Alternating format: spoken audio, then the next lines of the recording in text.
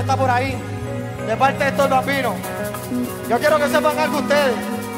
Cada vez que uno de ustedes pierde la vida, mi corazón se entristece. ¿Por qué? Porque tan pronto yo los conozco a ustedes, ustedes pasan a ser mi familia.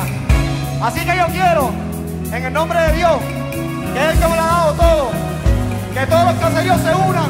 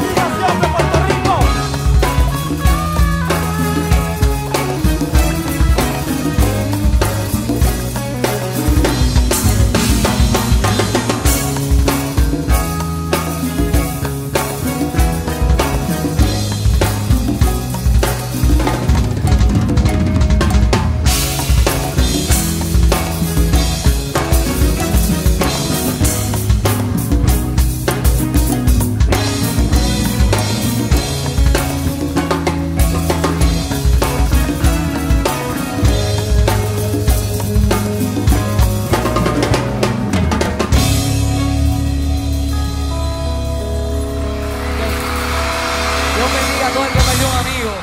Pero yo quiero saber